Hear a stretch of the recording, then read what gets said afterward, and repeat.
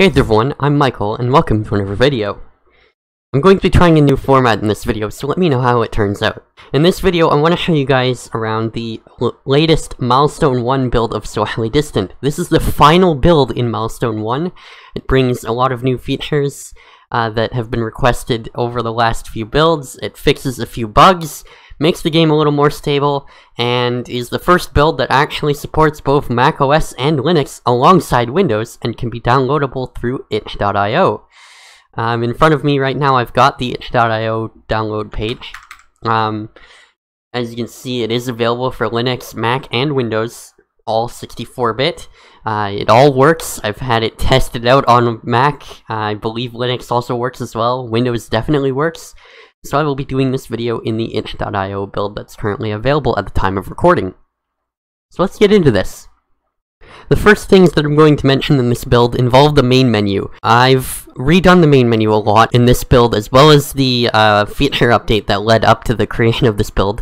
Uh, I've redone the menu buttons themselves, I've gave them icons and descriptions to make them a little more a little more like a game's user interface and less like a dumpster fire or a ShiftOS build. So I think it looks pretty nice, but do let me know what you guys think. I've also added community announcements to this build in the sense that rather than it being placeholder text, this actually gets pulled in from the forums. So this post that you're seeing in front of you right now, even though it says it's a test post, is actually readable on the game's forums, and you can go visit the post and uh, reply to it and do whatever you want with it, even though I wouldn't keep it up for that much longer. The logo of the game as well has been added in this build and the previous build, which of course has been done by Rahilu. It has a transparent background now, which in previous builds it did not. I can't show it in this window mode, but the socially distant icon, uh, the hexagon icon, is now used as both the taskbar icon and the window icon in place of Monogame's default uh, red logo. Uh, this is the same for Mac OS and Linux. Uh, the game will actually set the icon properly. So yeah, that's basically the main menu. Not really a lot to show off. The final difference with the main menu is that rather than having just a new game button and a continue button, you now have a continue button. The continue button loads the last save file you've played. There's the switch account button, which lets you select a different save file. And there's the new account button, which lets you create a new game. You can also change the skin from the new main menu, and you can access system settings and shut the game down. That's about it for the main menu, let's move on to the next thing. The next features take place in the settings menu, which are basically new settings for the game, which I will get into what they actually do later on in the video. Uh, but you can now enable and disable background blurs as well as transparency effects in the Gateway operating system, which will be used later on in future builds but is still used in this build with the terminal's background. You can also swap the mouse buttons so that the left button acts as the right button and the right button acts as the left button, vice versa. And you can change the skin from the settings user interface as well. You can also access in-game credits, as well as the source code and the game data directory in the settings menu.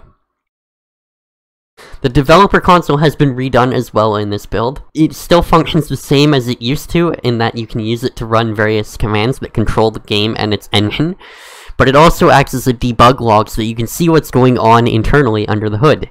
In release builds, it won't have as much information, and as you can see, this is a release build because we're running it from it, but in debug builds, it's a very, very handy tool almost synonymous with your IDE's debug log or output log or whatever your IDE calls it. This is basically going to act like that, but with some extra features for controlling the game's state.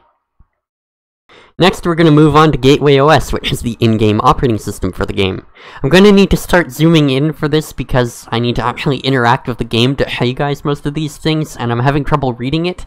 But uh, first and foremost is some new skinning features I've been added in this build. You can now set the background image of the system bar. In this case, I'm using a Windows XP skin to demo that, because you can now see that I'm using the Windows XP silver taskbar background as my system bar and I'm using the XP Bliss wallpaper, which is probably breaking some copyright, but I don't think Microsoft cares nowadays.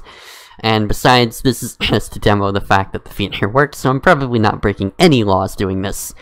Uh, I can switch it back to the main default skin if you lawyers really want me to. Anyway, this is the part where I start to zoom in, so let's get into this. The terminal has received some updates as well, and these updates also affect the um, developer console with the exception of one feature, tab completion, which I will show off right now. Tab completion is simple. You type in the start of a command, you hit tab, it fills it in. If there are multiple commands that could fill in, it's going to give you a list of them. For example, H has help and um, something else that I'm having trouble. Oh yeah, the home directory. It also lists files that are in your current directory and directories that are in your current directory. So the home folder is in the current directory, so it's going to list that as well. Tab completions also work for command line arguments. For example, this just took me into the home directory. A side effect of this is that if you do dot slash and then hit tab, you can see all of the files and directories in your current working directory, which is a shorter version of doing ls and hitting enter. You can also use tab completion to run graphical programs. With that said, the editor has been redone so that it now has word wrapping, and many of the bugs with word wrapping have been fixed. A known issue right now is hard to explain, but I can demo it if I zoom in. And I start cursing around. If I press down, if I get to this paragraph here, um, it is word wrapped, but if I press the down arrow, you'll see that it comes right below the second line of the paragraph. That's an issue with how my code works, and I'm not going to go ahead and explain it because it's annoying and it's even hard for me to comprehend, but I have some idea how I'm going to fix it, I just haven't gotten around to it yet, and I won't until Milestone 2 because it's an insignificant bug that does not affect the gameplay whatsoever, or the stability of the game itself. But other than that, word wrapping does work. The editor itself has received some user interface updates as well. The new open and save buttons have been replaced with icons, and the general color scheme has been changed. Browse has also been slightly changed. Uh, the buttons no longer have background colors, and the color scheme has been changed as well. Other than that, there's nothing really new in the browser. As far as Gateway OS user interface features go, the terminal now has a background blur, which is what those settings before were referring to, the background blur and the transparency effects. You can turn this off in settings if you don't like it or it chugs your system. There's also a task switcher at the top of the screen, which I don't know if I've showed off in a previous build, but nonetheless it is notable as being a feature in Milestone 1. This allows you to switch between your open applications, which you can now have multiple of open applications in this build. There's also a close button in every graphical program.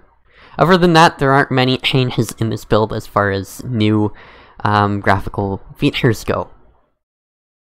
The terminal, however, does have command line history, and this is something that also works in the developer console.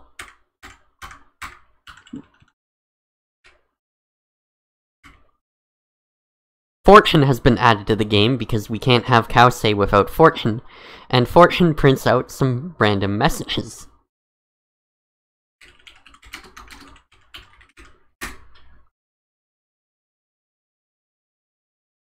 That's a Vsauce reference right there. The oven too. A in his eye. That it, for you, was with on. As have, but be they. I didn't even read that. Scrolling in this build has been fixed since the previous build. Beforehand it was a little wonky, but now it works perfectly fine. A new developer console command has been added in this build and works in release builds as well. If you do GUI.fps true, you will get a frame rate counter. The frame rate counter is different in this build than it was in previous builds when that command didn't exist, and it is a little easier on the eyes and doesn't really get in the way of the game anymore. Nonetheless, this also proves that the developer console supports the command line history as I've just disabled GUI.fps with less keystrokes than it took to enable it. Another command that exists is GUI.loadSkin, which you can use to load in an installed skin, as if you were in the skin's user interface.